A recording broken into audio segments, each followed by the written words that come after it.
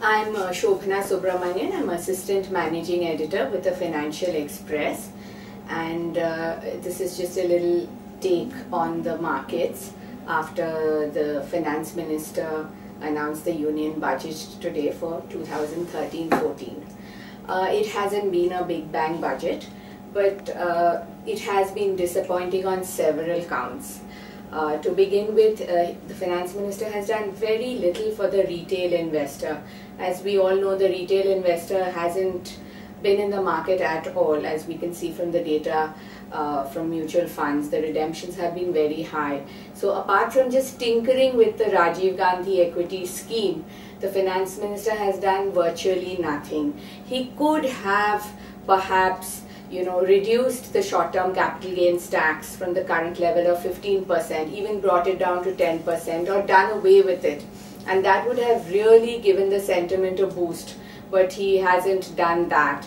And in fact, uh, in some ways, he's discouraging long-term investors because what the finance minister has done is that he has brought down the securities transaction tax uh, on certain key trades now that is essentially encouraging day trading uh, because it's in the uh, options and futures segment.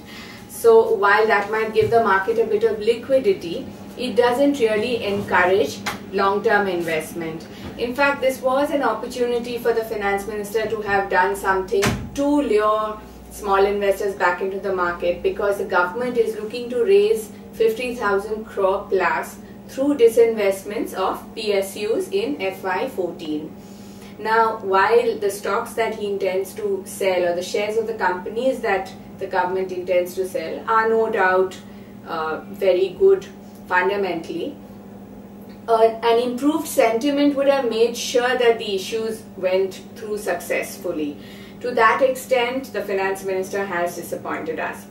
Uh, as far as foreign investors are concerned, foreign institutional investor, uh, this is probably the first time ever that the finance minister has marketed the budget.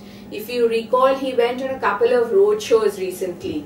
He went to London, he went to Singapore, and he promised foreign investors that you know he would do all the right things.